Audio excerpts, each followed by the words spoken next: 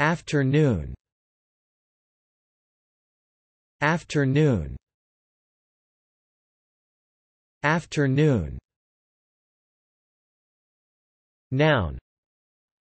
Definition, the time from noon or lunchtime to evening. Example, I telephoned this afternoon. Adverb. Definition, in the afternoon, every afternoon. Thanks for watching this video. Be sure to subscribe to our channel to get more free learning resources.